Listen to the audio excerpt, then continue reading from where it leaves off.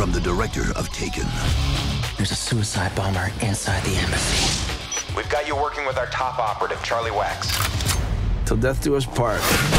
The risk has never been greater. What do you think this is about? It's about terrorists! But our last line of defense is also our best.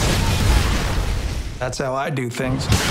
Wax's methods aren't exactly Regulation?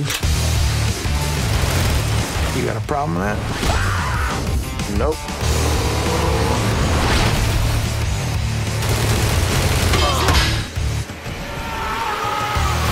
What the? Did I say we were done?